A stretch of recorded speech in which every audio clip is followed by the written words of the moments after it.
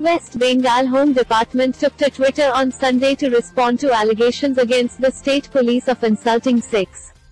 This exchange was triggered by an incident on October 8 when a scuffle between the West Bengal police and the Sikh bodyguard of a BJP protester in Kolkata.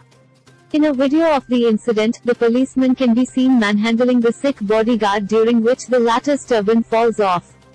The West Bengal government has claimed that the Sikh man in question was carrying an illegal weapon and the cops' attempts to recover the same led to the scuffle and the accident with the turban. The BJP, on the other hand, has accused Kolkata police and the West Bengal government led by Chief Minister Mamta Banerjee of insulting the Sikhs. On October 8, the BJP had launched a march to the CMO in Nabana in protest against the killing of one of its workers in Titagarh.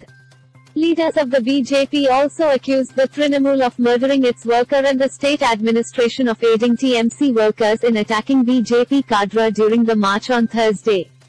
It goes on to add, a recent incident when one isolated individual got caught with one illegally carried firearm amidst agitationists in an agitation that was not authorized is now being twisted out of context, being distorted, and being given communal colors in fractious and partisan interest.